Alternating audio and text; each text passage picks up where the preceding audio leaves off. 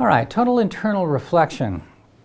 I'm going to teach you about mirages, why you see a mirage in the desert, and also this is very important technologically because the physics you'll learn in, in this section uh, helps you understand why diamonds shine so beautifully uh, and also optical fibers are used to carry uh, telephone signals and many other signals including uh, you have optical fibers in some of your stereo systems that go um, that carry the, the optical signal from one component to another. Uh, one application of optical fibers is these um, endoscopes. There are two optical fiber cables, one providing light to illuminate interior body parts and the other sending back images for viewing. And so you're able to, to uh, view, well, that's a disgusting image, I gotta say, um, polyps and colonoscopy, et cetera, et cetera. So, but these fibers channel light and use the principle of total internal reflection in order to, um, to operate. So let me start off with a demo. Okay, now we have total internal reflection. No beam makes it through this air-water interface. And I want to come back the other way and, and, and look at the intensity of this reflected beam right here as I approach the critical angle from the other direction. Okay, as soon as a beam appears on this screen here, then I'll know that I've made it through and passed. Okay, now I've just passed the uh, critical angle for total internal reflection. There's still a reflected beam here and a refracted beam here. But the reflected beam is getting dimmer by the second. And as we move further and further away from the critical angle, that reflected beam becomes more and more difficult to see. Okay, as we've seen, at any interface, at a water-air interface, for example, you always get a reflected ray. But in some cases, you do not get a refracted ray, one that goes from the one to the other. And in particular, the reason that we're starting the laser beam in the water and then coming up toward air is that that's the case where you can see total internal reflection. So here's the idea, and this is what we just showed with the demonstration. If the incident ray has near normal incidence, so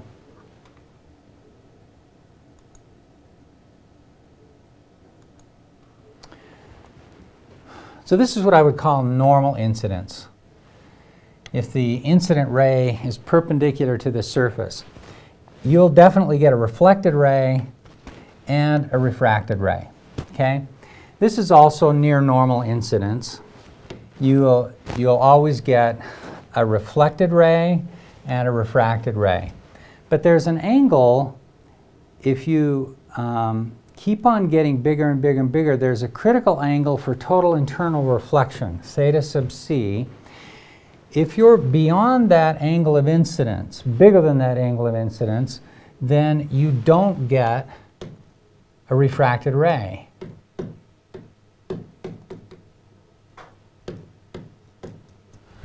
And um, all of the light is internally reflected into the water.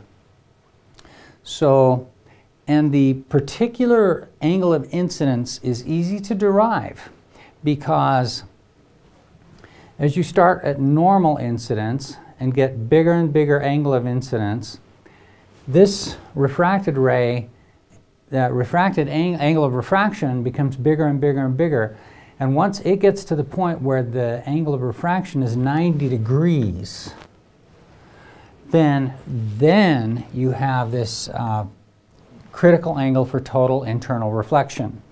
So we can easily derive it because we know that theta 2 is 90 degrees. If we start off with n1 sine theta 1 equals n2 sine theta 2, and we put in theta 2 of 90 degrees, sine of 90 is 1.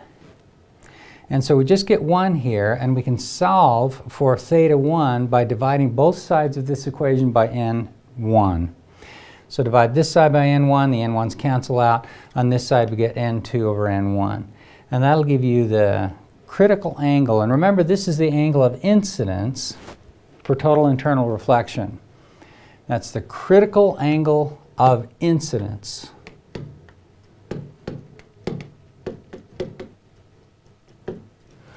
For total internal reflection. Now note that we're starting in the optically dense, more, uh, dense material, N1. And ending, we're reflecting, we're starting here in water, for example. Uh, this won't work. You won't get uh, an angle of incidence if you start in the air and then try and reflect off of water. And the reason is that N1 is the bigger one N2 is the smaller one. N2 would be air in this case, right? N2 equals, say, example, for example, 1. N1 for water is 1.33. Well, we end up with an N2 over an N1. That's 1 over 1.33, and that's point, about 0.75 that we talked about before. Well, you can find, uh, if the sine of theta is 0.75, um, no problem. You can find the angle theta c. But if you reverse these two, uh, you, you got a sine of an angle that's 1.33, and it's embarrassing to find the inverse sine because you never get a sine that's bigger than 1. So that's the embarrassing situation. You have to be starting off in the optically um, dense medium in order to get total internal reflection. All right, uh, how does this work with diamonds? Diamond, as we talked about before, has a large index of refraction, which is about 2.42. a light ray strikes a diamond air interface at an angle of incidence of 28 degrees. Is there total internal reflection? Repeat for a diamond water interface. So here we've got a diamond material, uh, and this is in air. Around the diamond, we've got air. We've got an angle of incidence here. It comes in. Uh, it's actually outside that critical angle for, for diamond in air. Let's actually take a look and find out what that angle is. Theta, sine of theta c was n2 over n1. And we're inside the material, remember? So we're starting off n1 is for diamond. That's 2.42. And N2 is for air. So N2 is 1. That's that number here. N1 is 2.42, and the inverse uh, sine of that ratio is 24.4 degrees. So in fact, if we start off with an angle of incidence of 28 degrees, this angle here that's not close enough to normal incidence to get a refracted ray, and you get no refraction here.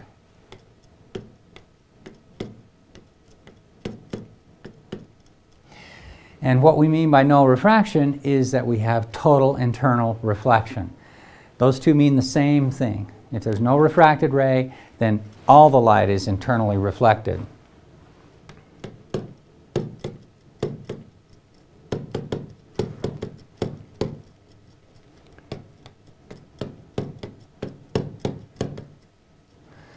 Well, so what if you put it in water then? If you put it in water, then what changes? Well, instead of air, which had an index of refraction of 1, you've got water with an index of refraction of 1.33. Take that ratio, the ratio is actually uh, not as small as it was before. The angle is now 33 degrees, so uh, the angle of incidence here again it's still the same 28 degrees. But now you have a critical angle for diamond in water, which is 33.3 degrees, instead of for uh, the critical angle for diamond in air is 24.4.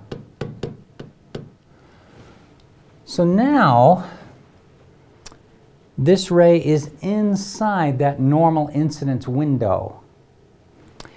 And you do get both a reflected and a refracted ray. So the diamond is going to be less brilliant if you put it in water. You don't get as many internal reflections. That's what this slide's all about. The diamond is famous for its uh, sparkle because the light coming uh, is, is moved about. Why does a diamond exhibit such brilliance? Why does it lose much of its brilliance when placed underwater?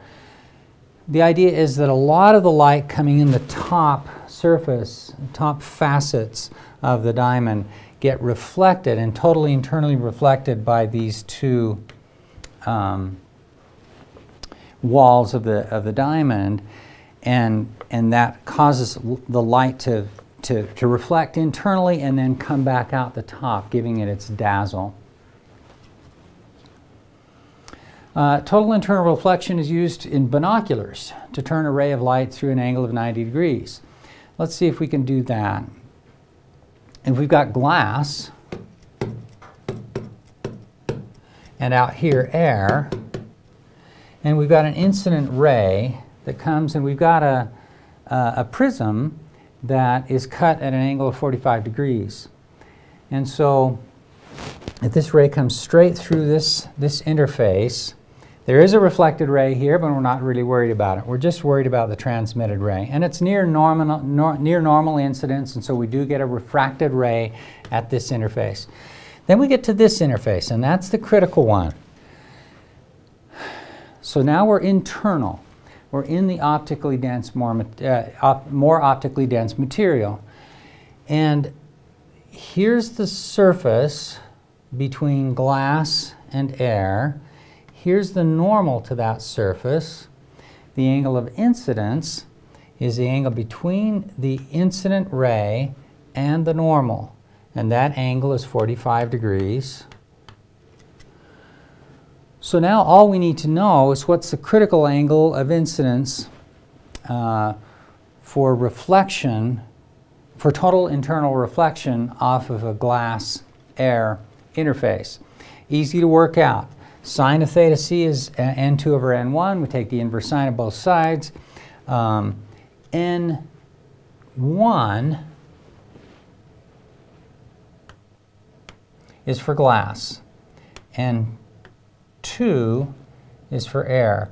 Remember, um, okay, so N2 is for air, N1 is for glass, and we get 42 degrees. So that cone for near normal incidence is 42 degrees wide. So if we're inside this cone, then we will get a refracted ray. But we're outside. We're at a more of a glancing incidence. So we'll get total internal reflection at this angle of 45 degrees. We'll get total internal reflection at this uh, angle of maybe 80 or 90 degrees, we'll get total internal reflection at these very, very glancing angles. Anything outside that cone that's centered on the normal incident um, perpendicular ray will get uh, total internal reflection. So we do. We get total internal reflection here. We get all of the light coming in and hitting this interface gets reflected by it. And uh, it's a very efficient mechanism. If you put two of these together, you get what you see in, in binoculars. The, the light ray comes through a lens, uh, then it hits this little prism thing that bounces off at a 45, bounces off at a 45, and this is what is used to actually rectify the image in, in binoculars so it's not, not reversed. Um, optical fibers, like we talked about before, are um, one of the most important applications of total internal reflection. So here's a couple of um, demos. Total internal reflection is important in technology. A lot of communications are done, including telephone and other communications. You may have an optical cable in your home stereo or home theater system that uh, communicates audio information through uh, an optical cable. The principle is uh, total internal reflection. If we come in at a glancing angle, then all of the light that's incident on this surface and on this surface will be reflected back internally into the uh, material. So, so it works for glancing angles and the, the beam needs to be confined within a material that is more optically dense, has a higher index of refraction than the surrounding material. But any shape will do. You can use a rectangular shape here, you can use a circular shape, um, confining all that light inside of that fiber. And this is a more typical light uh, optical cable or, or, light fiber. I'm just going to introduce the, the beam here. You'll see it come out on the far end. This is an example of, uh, we have a source of light in the base here, and each of these, all they are strands of uh, plastic, and they are channeling the light uh, through them. And they can be bent or whatever, and they'll still channel that light. There is a certain radius, if you, if you bend it, if you kink it really hard, then that uh, brings you away from the total internal reflection and, uh, and you lose the effect. But very effective, very important in, in today's technology, total internal reflection. Okay, this is uh, just a diagram of the sort of uh, devices that we saw. All you need is a piece of plastic or glass to have a light, uh, an optical fiber.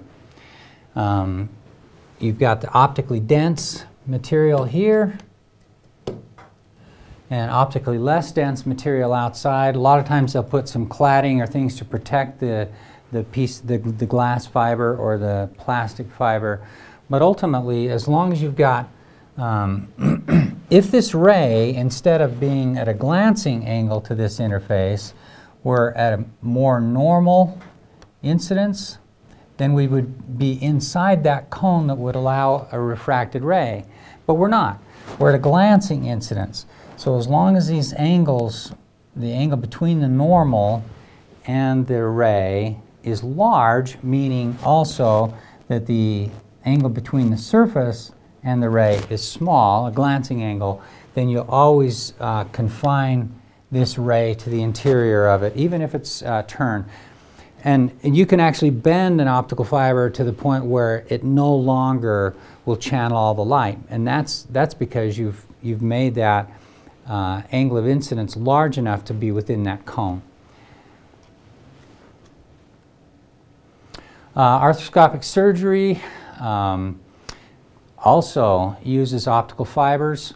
The surgeon can insert the instrument, a cable into a joint, and uh, only a tiny incision, minimal damage. But optical fibers make this, make this happen. Uh, mirages. You've all seen them on the road on a hot day. A nice flat, long flat road uh, on a very hot day, best place to see a mirage.